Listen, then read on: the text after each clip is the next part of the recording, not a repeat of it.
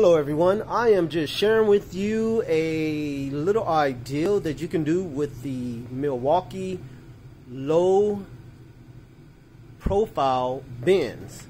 So what I found out is that they fit nicely into the US General Series 2 drawer.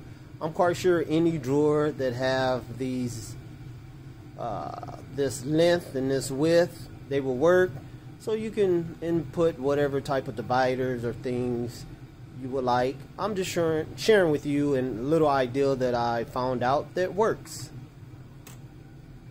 And so, just to share, you guys can be creative and come up with whatever. Alright, I am not haven't fully stocked this particular uh, rolling cart I'm still working on it. I have other things that I'm doing. Thank you for watching.